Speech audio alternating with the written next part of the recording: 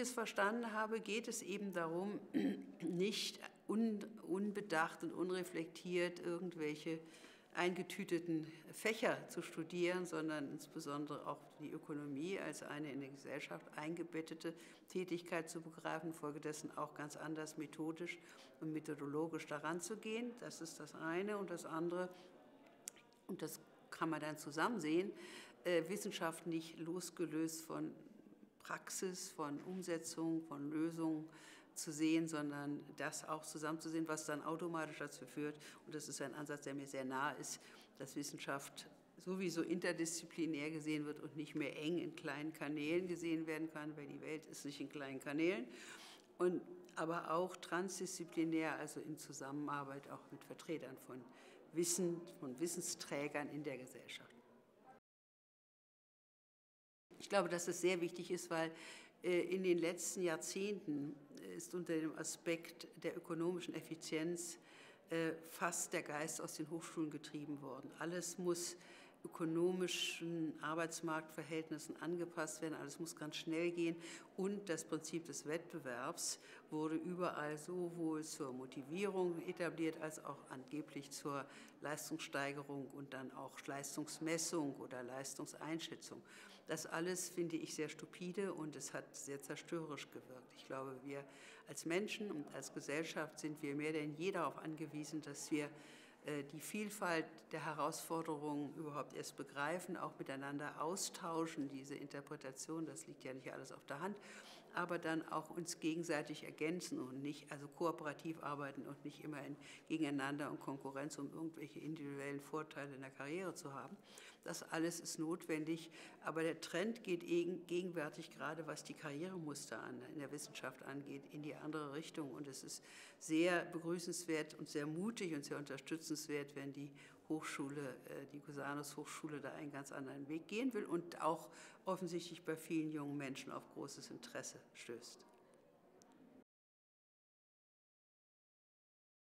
Die großen Herausforderung der Welt ist, sich zu verständigen und Frieden zu bringen und Frieden zu halten und damit auch Leben zu erhalten und für Menschen ein lebenswertes Leben zu ermöglichen, und zwar überall. Das sind die großen Herausforderungen. Wir können es nicht mehr in einem Land oder in einem Dorf, können es nur noch global machen. Zugleich können wir eigentlich nicht überall was bestimmen, sondern wir müssen eine Verbindung von den Bereichen, wo wir auch demokratisch mitbestimmen können, zum Beispiel Gemeinden, Städte und so weiter, und allem, was die globale Dimension angeht, Afrika, Asien, das müssen wir verbinden in zum Beispiel Herausforderungen wie der Ökologie und dem Klima.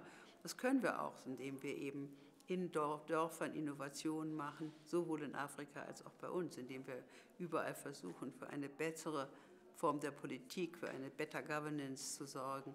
Und das ist auch alles eigentlich sehr interessant, finde ich, und sehr, sehr äh, für mich auch erfreulich. Aber gegenwärtig herrscht so sehr ein ökonomisches Effizienz- und Karrieredenken vor, dass das verdeckt wird. Aber die Herausforderung müssen wir meistern. Wir sehen, wie viele Konflikte, tödliche Konflikte es in der Welt gibt, wie viel Hunger, auch wenn zum Teil der Hunger eingeschränkt worden ist. Aber die Konflikte haben sich ja multipliziert und dagegen müssen wir angehen. Ich denke, dass die Cusanus Hochschule wie andere Initiativen, die es ja auch gibt, aber äh, äh, da ganz wichtig ist, es ist nicht so, dass die großen Institutionen das Entscheidende sind. Ich glaube, solche kleinen, aber dafür sehr geistreichen und energiegetragenen Institutionen können sehr ansteckend wirken, können sehr auf andere einwirken, können auch ermutigend wirken auf andere junge Menschen, die das machen wollen. Insofern glaube ich sehr an die, gerade an die kleineren Initiativen.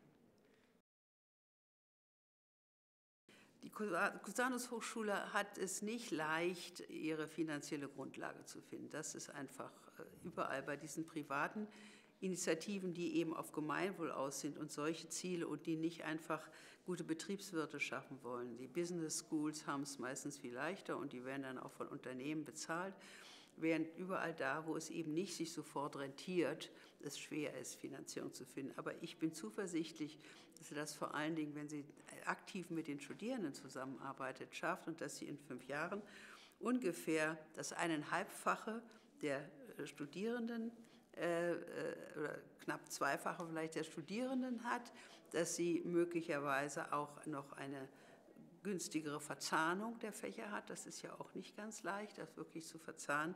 Und dass sie dann schon einen Namen bekommen hat in Deutschland, der dazu führen wird, dass immer mehr sagen werden, das ist ein Ort wirklich geistiger Erneuerung und auch äh, dann schließlich auch äh, für die Berufsausbildung ein wichtiger Ort.